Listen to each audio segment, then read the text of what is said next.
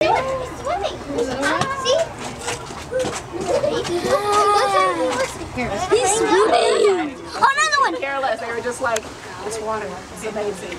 It won't stop. There is a baby. All right, so we have our three 10 and a half week old otter pups uh, out on exhibit for one of the first times today. Uh, they are three boys. They have Native American names. Uh, Kohana means swift, Pinto means blue, like the water, and Shyla, which means little brother, because they're all brothers.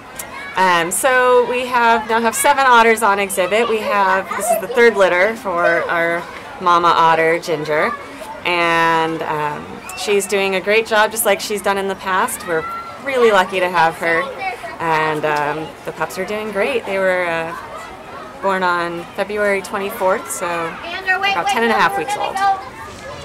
They're very playful. They wake up in the morning and they just play with their big brothers and little and sis, big sister, and uh, they wrestle around a lot. They go in the pool and swim. They're not born knowing how to swim.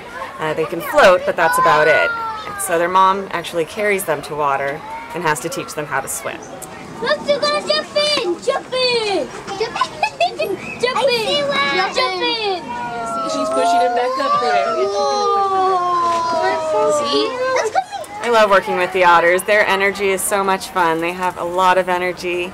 Uh, they're very fast, very intelligent. Um, definitely challenging sometimes, but that keeps me on my toes and keeps me learning.